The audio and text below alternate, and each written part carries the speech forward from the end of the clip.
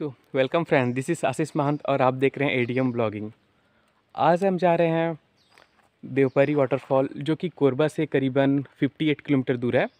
सो so friends अभी आज हम अपने फ्रेंड लोग साथ ये है शशांक भैया। Hello everyone, this is Sasank and we are so much excited for the trip. We are going Devpahari. और ये रहे हरीश जो कि शर्मा हैं। हैं भाग रहे हैं। और आज के हमारे जो कैमरा मैन है शशांक भैया है। तो चलिए शुरू करते हैं आज का ट्रिप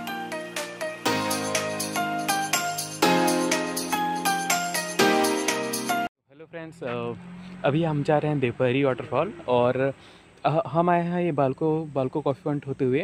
तो अभी आपको एक रास्ता दिखाते हैं। ये रहा पुलिस स्टेशन लेमरू का। ओके, यहाँ से आपको दो रूट मिलेगी। एक रूट जाने वाली है आपकी इस साइड इस साइड देख सकते हैं। यहाँ से करीबन बारह किलोमीटर दूर आपको पड़ेगा नकिया वाटरफॉल और आपको इस साइड दिखा रहा है ये, तीन किलोमीटर जब पड़ेगी आपको देवपरी ये रोड पे ओके तो अभी हम अपने मंजिल से खाली तीन किलोमीटर दूर हैं तो चलिए। सो फाइनल गाइस हम पहुँच गए देवपरी वाटरफॉल और आज देख सकते हैं आज संडे का समय है, जो कि बहुत लोग अपने फैमिली के साथ, अपने फ्रेंड लोग के साथ यहाँ पिकनिक मनाने आए हैं, जो कि देखिए काफ़ी भीड़ है यहाँ। और आप देख ही सकते हैं, देखिए, काफ़ी भीड़ है। और यहाँ पर बगल में कैंटीन भी है, जहाँ आप छोटे स्नैक्स ले सकते हैं से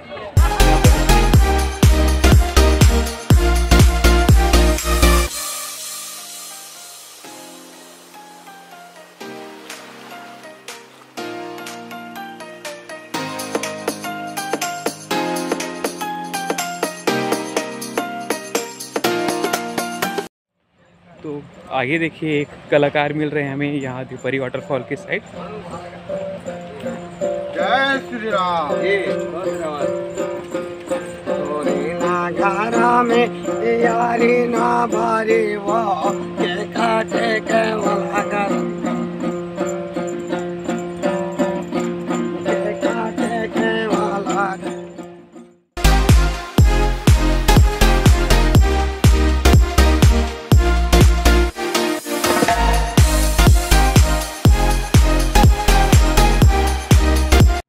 सकते हैं। यहाँ पास का नज़ारा जो है बहुत ही सुंदर है और दीपरी वाटरफॉल देखिए, जो चट्टानों से और यहाँ पास का जो वाटरफॉल है, वो बहुत ही सुंदर है। तो अब देखिए, दिखाते हैं यहाँ पास का कुछ आपको सिनेमेटिक शॉट और की फ़ोटो फ़ोटोज़ दिखाते हैं, जो आपको बहुत पसंद आएगा।